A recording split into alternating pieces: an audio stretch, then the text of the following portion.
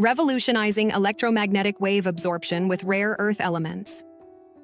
The rapid evolution of communication technology and electronics has transformed daily life, but it also brings the challenge of electromagnetic pollution. This invisible pollution, linked to the rise of electronic devices, raises concerns about health and environmental impacts. A groundbreaking study has explored the potential of rare earth elements, known as the vitamins of industry, as promising materials for electromagnetic wave absorption, offering hope in addressing this growing issue. A research team from Shandong University, led by Professor Zhihui Zeng, explored advancements in electromagnetic wave absorption materials, published in the Journal of Materials Science and Technology.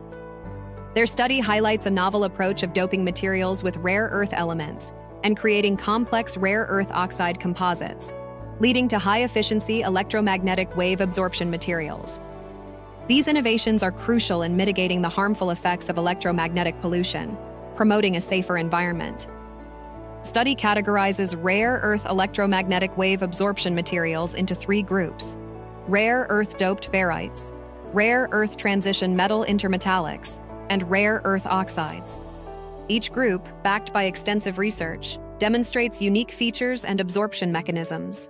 Dr. Zhirong Liu notes that integrating rare earth elements has significantly boosted absorption efficiency.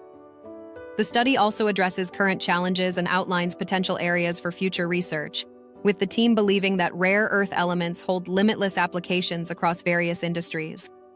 Professor Zhihui Zeng emphasizes that rare earth elements are crucial in enhancing absorption materials, offering a sustainable solution to electromagnetic pollution.